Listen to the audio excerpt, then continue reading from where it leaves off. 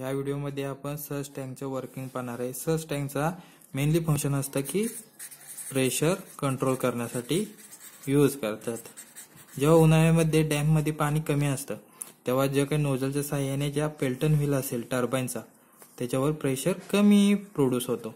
तेव्हा काय केला जातो? जो एअर वॉल असेल तो ओपन केला जातो. एअर वॉल ओपन केल्यामुळे काय होतं? जो काही टर्बाईनचा व्हील असेल त्याच्यावर हाय प्रेशर प्रोड्यूस होतं आणि इलेक्ट्रिसिटी जनरेट होते. तशाच प्रकारे